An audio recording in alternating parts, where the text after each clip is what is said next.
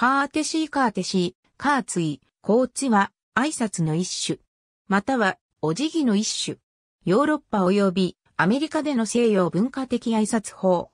17世紀以降、女性のみが行う礼法として発達した。目上の相手に対し、片足を斜め後ろの内側に引き、もう片方の足の膝を軽く曲げ、背筋は伸ばしたまま挨拶をする。両手でスカートの裾を軽く持ち上げて行う場合もあるが、ズボン着用で行われることもある。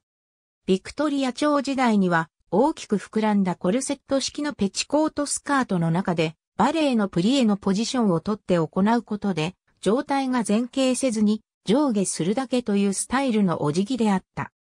伝統的には使用人が主人に相対した時など社会的ランクが下の者からランクが上である相手に対して行うものであったが、今日のヨーロッパでは王室のメンバーに面会する際に主に用いられるものとなってきている。